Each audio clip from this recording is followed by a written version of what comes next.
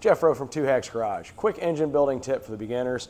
If you ever noticed on when you install your pistons onto the connecting rods, granted that you have your valve orientation correct, um, if you look at a connecting rod, it actually has different chamfers on that. They're not the same, they're not universal. If you look here, there's a large chamfer and there's a small chamfer. A lot of people wonder what that's for. Well, here's what it's for.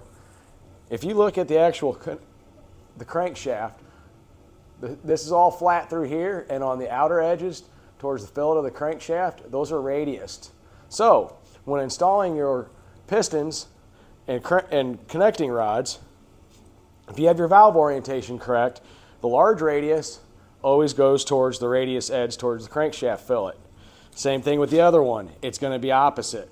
So when you put this together, the large chamfers are towards the radius edge of the crankshaft, and the small chamfers